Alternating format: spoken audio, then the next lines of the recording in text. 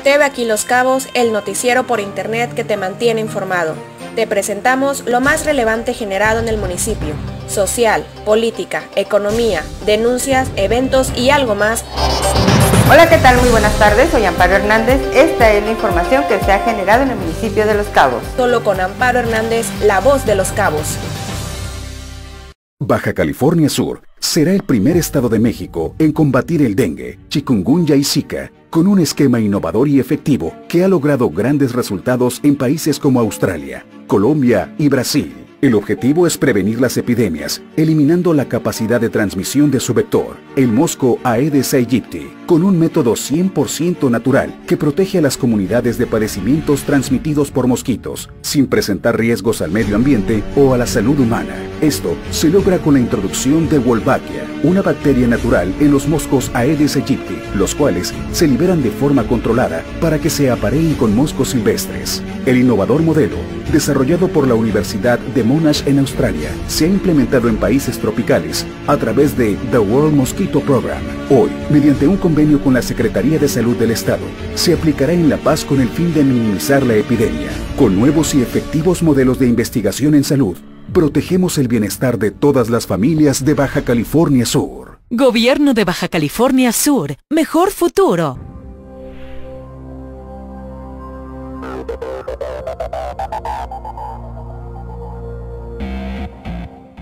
Con las nuevas instalaciones de la Academia Estatal de Seguridad Pública en la ciudad de La Paz, ahora los ciudadanos que deciden servir a nuestra gente recibirán una preparación de alta calidad, lo que garantiza el contorno a los elementos mejor capacitados para salvaguardar la integridad de la sociedad subcaliforniana enfatizó el gobernador Carlos Mendoza Davis luego de señalar que la inversión de esta obra fue superior a los 54 millones de pesos. En ese sentido destacó que hoy Baja California Sur con una academia policial. En ese sentido destacó que hoy Baja California Sur cuenta con una academia policial de primer nivel que se traduce en la formación de mejores servidores públicos en materia de seguridad y justicia, lo que viene a fortalecer a las instituciones del ramo mencionó.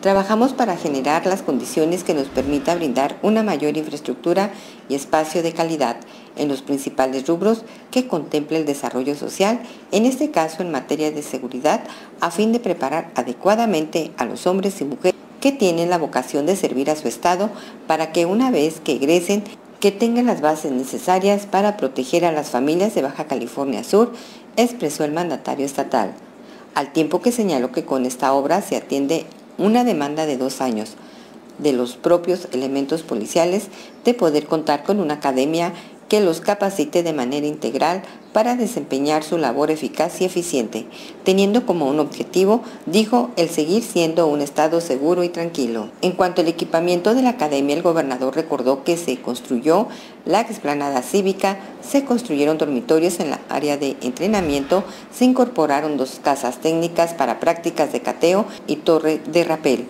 un área de tiro, pistas para entretenimiento de manejo, pistas de atletismo y una zona de acondicionamiento físico.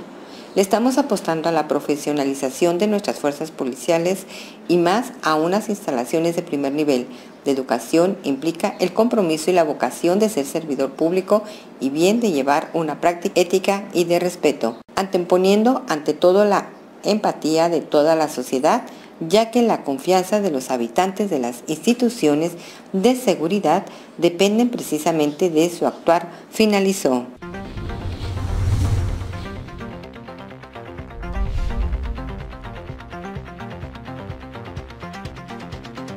¿Sabes qué hacer antes, durante y después de un huracán? Antes, 1. Infórmate en los medios de comunicación. 2. No salgas de casa si no es necesario Busca refugio en los albergues de tu comunidad en caso de necesitarlo. 3. Sella ventanas y puertas con cinta adhesiva para evitar riesgos por los vientos. 4. Ten a la mano tus documentos personales más importantes. Colócalos en una bolsa y séllala. 5. Ten a la mano artículos de emergencia como ropa abrigadora o impermeables. 6. Cubre con plástico objetos que puedan dañarse con el agua. 7. Limpia desagües, canales y coladeras para evitar acumulación de agua. Durante 1. Conserva la calma. 2. Ten a la mano un radio portátil. 3. Desenchufa los aparatos y la energía eléctrica de tu hogar. 4. Cierra las llaves de paso del agua y del gas. 5. Aléjate de puertas y ventanas. 6. Ten contigo una lámpara que funcione a base de pilas. 7. Vigila en todo momento el nivel del agua cercana a tu casa. 8. No cruces arroyos o acumulamientos de agua. Después. 1. Sigue las instrucciones de las autoridades y reporta daños o heridos.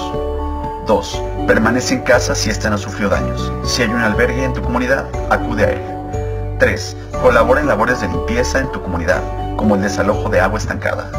4. Mantén desconectados los servicios de luz, agua y gas hasta que no haya peligro. 5. No hagas caso de rumores y atiende solo las indicaciones de las autoridades. 6. Usa el teléfono solo para emergencias, para evitar saturar las líneas. 7. Solicita ayuda a las autoridades en caso de ser necesario. Tu seguridad es primero.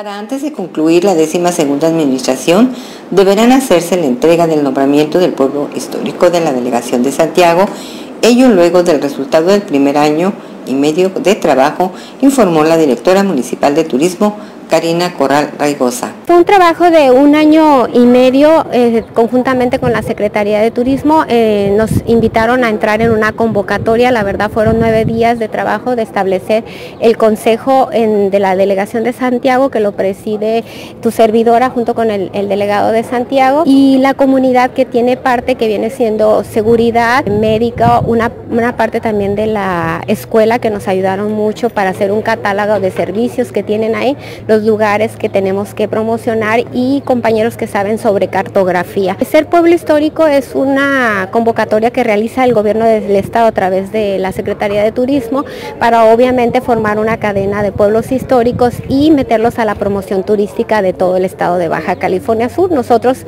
dentro de poco, donde cuando ya el gobierno del estado lo decida, se estará inaugurando Santiago como pueblo histórico y estaremos dejando este legado. La servidora pública manifestó que este será el legado que dejará el gobierno municipal que preside Arturo de la Rosa Escalante. Corral Reigosa detalló que se han remoledado una construcción que se encontraba abandonada donde se pretende el mercado de los Coras, a fin de brindarles un espacio a los productores de la zona, a fin de que puedan exhibir sus artesanías y dulces típicos de la región, donde los visitantes pueden llegar y conocer lo que se produce y con ello les permita generar un ingreso. Además de estos trabajos, la servidora pública dio a conocer que cuando la remodelación de la plaza pública y parte del centro, a los comerciantes se les informó de los lineamientos de imagen para la promoción de su negocio. Finalmente, la directora municipal de turismo aseguró que este importante esfuerzo de todos dejará grandes beneficios para los habitantes de Santiago.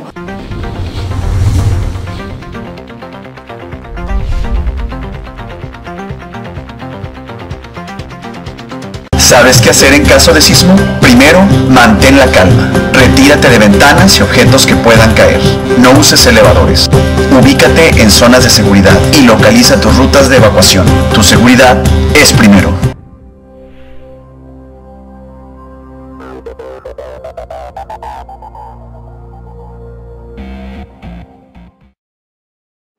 Segundo Ayuntamiento de Los Cabos, a través del Instituto de las Mujeres del municipio de Los Cabos, continúa con el trabajo de brindar asesoría de temas sociales, legales, psicológicos y en un grupo de reflexión.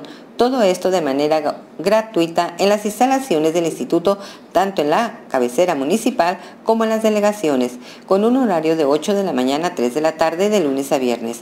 Así lo dio a conocer la directora general del Instituto Municipal de las Mujeres de Los Cabos, Erika Castro Lachea, agregó que este tipo de servicios son con el objetivo de ayudar a las mujeres con temas personales y familiares, además de empoderarlas, sensibilizarlas en un tema de género, autoestima y autoconocimiento que les ayuden a realizar un proyecto de vida, además de la importante clase de zumba de lunes a viernes a las 7 de la tarde en la palapa del Instituto porque es importante fomentar el hábito del deporte. Finalmente, Castro Lachea hizo hincapié en que las mujeres necesitan de ayuda, diversión y actividades físicas para que todas las mujeres accedan al pleno goce de los derechos humanos en un contexto de equidad de género e igualdad de oportunidades para proteger su integridad y brindarles seguridad. Por ello se les invita a asistir al instituto ubicado en la calle Ernesto Aramburo en la colonia Zacatal y para mayor información en la página Facebook Instituto de las Mujeres del municipio de Los Cabos al teléfono 10 527 21 y 10 527 22, concluyó la servidora pública Erika Castro.